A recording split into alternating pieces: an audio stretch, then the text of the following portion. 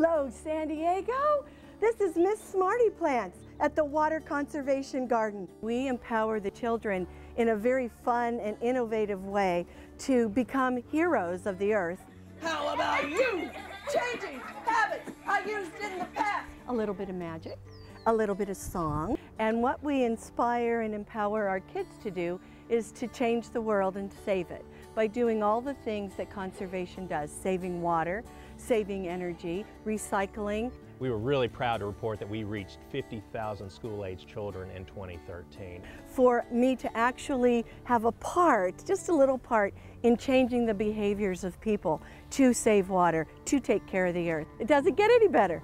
Thanks, San Diego, for doing such a great job at saving one of our most precious resources, water.